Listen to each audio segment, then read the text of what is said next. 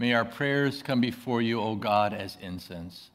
And may your presence surround and fill us, so that in union with all creation, we might sing your praise and your love in our lives. Amen. The light shines in the darkness. And the darkness has not overcome it.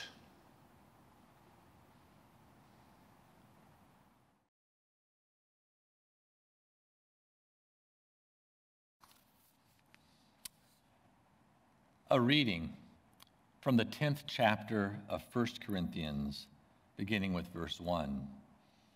St. Paul writes, I do not want you to be unaware, brothers and sisters, that our ancestors were all under the cloud and all passed through the sea and all were baptized into Moses in the cloud and in the sea and all ate the same spiritual food and all drank the same spiritual drink.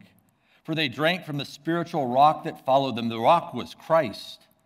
Nevertheless, God was not pleased with most of them, and they were struck down in the wilderness. Now, these things occurred to us as examples for us, so that we might not desire evil as they did. Do not become idolaters, as some of them did, as it is written The people sat down to eat and drink, and they rose up to play. We must not indulge in sexual immorality, as some of them did. And 23,000 fell in a single day. We must not put Christ to the test, as some of them did and were destroyed by serpents, and do not complain, as some of them did and were destroyed by the destroyer. These things happened to them to serve as an example, and they were written down to instruct us, on whom the end of the ages have come. So if you think you are standing, watch out that you do not fall. And a reading from the 26th chapter of the Gospel of Matthew, beginning with verse 30. When they had sung the hymn, they went out to the Mount of Olives. Then Jesus said to them, You will all become deserters because of me this night.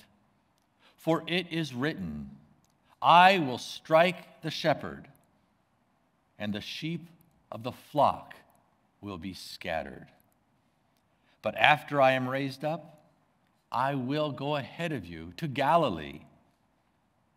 Peter said to him, Though all become deserters because of you, I will never desert you. Jesus said to him, Truly I tell you, this very night, before the cock crows, you will deny me three times. Peter said to him, Even though I must die with you, I will not deny you. And so said all the disciples. The gospel of our Lord. Praise to you, O Christ.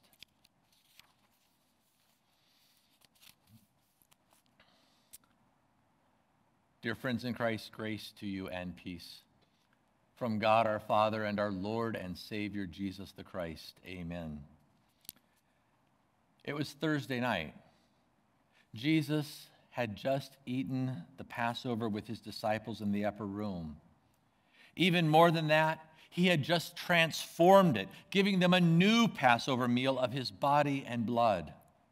He had washed their feet. He had spoken of betrayal.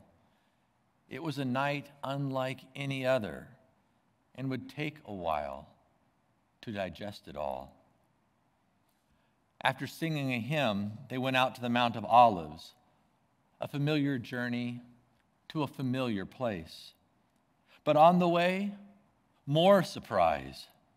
Jesus speaks about what is going to happen, and with an ominous warning you will all fall away because of me this night. For it is written, I will strike the shepherd, and the sheep of the flock will be scattered. But Peter, not yet realizing the full significance and meaning of what Jesus said, confidently replies, No, it shall not be. Though all fall away because of you, I will never fall away. You have to marvel at maybe even admire such confidence, such a can do attitude. The problem, though, is that it is a confidence that is not born of faith. It is overconfidence, spiritual pride. For what is Peter saying with his words? Not just that he will remain steadfast, but that Jesus saying, It is written, is wrong. Or Jesus' interpretation of it is wrong. To Peter, it seems very possible that the rest of the disciples might well fall away, but not him. You are wrong, Jesus, not me. To which Jesus replies, Oh, yes, you, Peter. In fact, maybe it could even be said that his falling away would be worse than the others. For not only would he fall away with them, but truly I tell you this very night before the rooster crows, you will deny me three times. No, you're wrong again, Jesus, Peter insists. Even if I must die with you, I will not deny you.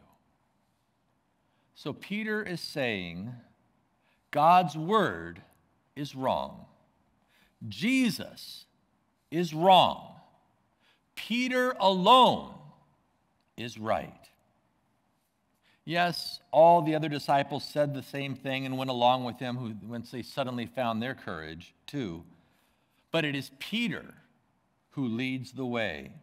Peter, whose spiritual pride is leading him down the wrong and dangerous path. Could the same thing be said for you and me? Spiritual pride leads us away from the Lord and his gifts and instead exalts me and my strength. And that's what makes it so dangerous and deadly. That's why the scriptures are filled with warnings against such pride. Such pride, which in full growth can lead us to say, like Peter, God's word is wrong. Jesus is wrong. I am right. We see that actually in no small way in our world today. But is it in us? Is it in you and me? It is. And here's how you know it. Because even as you were hearing those words, you were thinking, I would never have said what Peter said. I would never have done that. I would never do that. Others, maybe, sure, but not me. And isn't that exactly what Peter said? As Paul warned the Corinthians, these things took place as examples for us. They were written down for our instructions. Let anyone who thinks they are standing take heed lest they fall. But there is good news in our reading tonight. It isn't all bad news, for after the shepherd is struck, struck for all of our sins, including our misplaced, overconfident spiritual pride, Jesus continues, After I am raised up, I will go before you to Galilee. After the shepherd is struck on the cross, and the sheep are scattered, and all looks hopeless and lost the shepherd will rise from the dead and go find his sheep again. He will gather them to himself in forgiveness and love. He will go before them and take care of them. Yes, they would leave him, but he will never leave them. Not even death will be able to stop him. Peter would soon know that God's word is right. Jesus is right.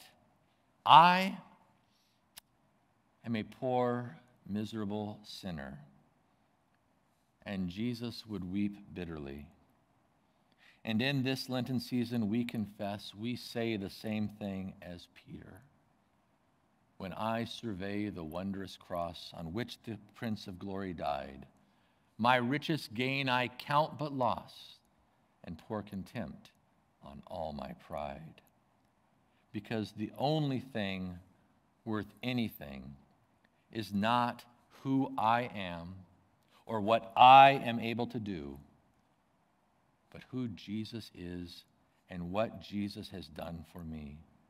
His atonement for my sin, His defeating my death, His victory over my hell, His baptism giving me new life, His body and His blood feeding me, His life giving me life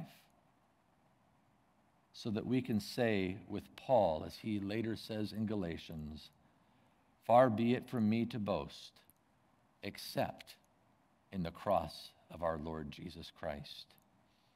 Boasting in the cross of Jesus confesses confidence in the one who not only rose from the dead to life again, but has promised the same for us. It is to confess the one who has gone before us, not just to Galilee, but to heaven, to prepare a place for us. That's what Jesus has promised. And God's word is right. Jesus is right. And I, I am his. Thanks be to God. Amen.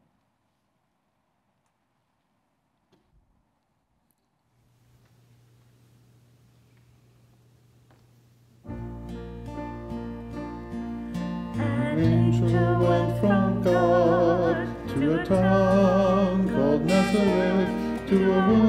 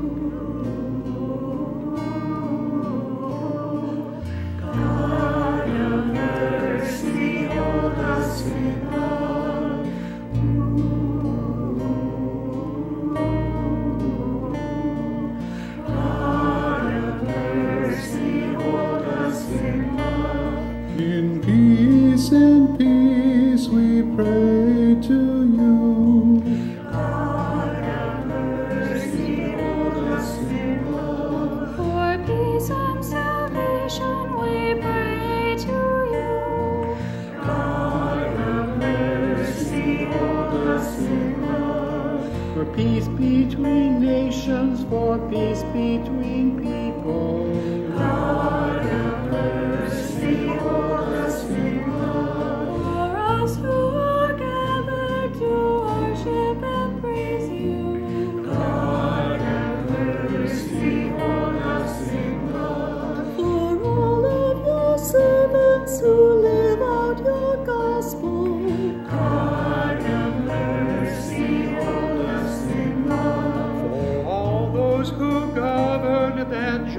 Justice might guide them. God have mercy, hold us in love. For all those who labor in service to others. God have mercy, hold us in love. Grant weather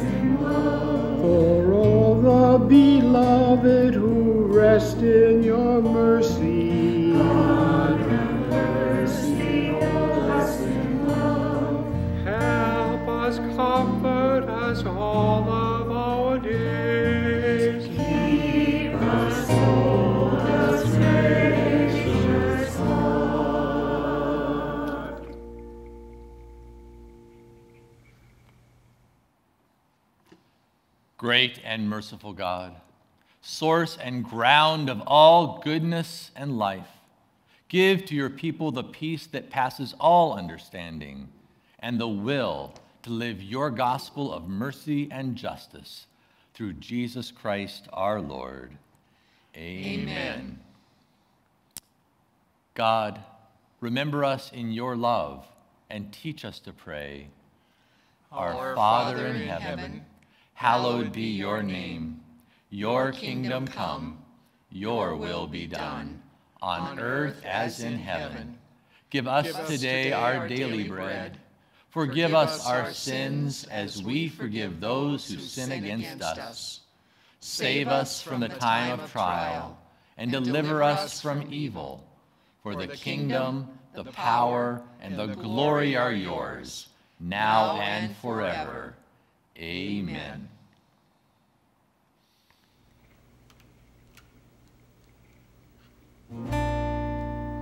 Let us bless our God. Praise and thanks to you.